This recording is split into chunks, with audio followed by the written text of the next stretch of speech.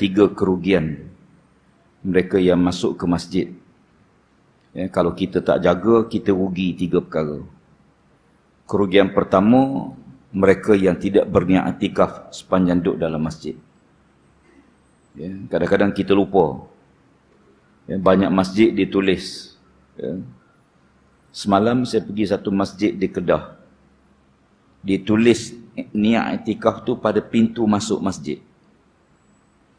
Saya fikir satu uh, tindakan yang sangat baik ya. Sebab bila kita nak buka pintu tu kita kita baca niat dulu ya. Yang pertama yang kedua mereka yang masuk ke masjid dan tidak sembahyang sunat tahiyatul masjid.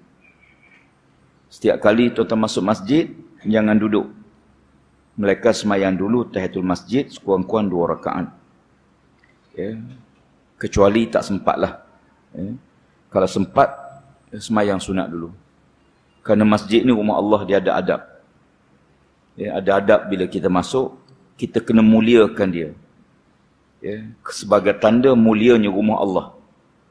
Ya, kerana hebat macam mana istana tak tak boleh semayang sunat atau masjid. Ya, apatah lagi tempat lain.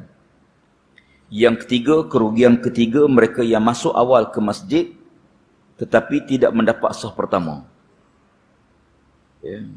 Sebab tu tuan-tuan bila tuan-tuan masuk masjid, dapatkan soh pertama dulu. Jangan cari tiang dulu. Masih baik masjid ni tak ada tiang. Hmm. Ya, masuk masjid, jangan duduk soh belakang. Nabi kata, kalau kamu tahu apa yang ada pada soh pertama, kamu berebut untuk mendapatkan soh pertama. Jadi tuan-tuan setiap kali kita masuk masjid, dapatkan soh pertama dulu. Supaya kita mendapat kelebihan soh pertama. Kelebihan soft pertama ni tuan-tuan lebih lebih abal daripada semayang dalam raudah. Tuan-tuan tahu. Ya.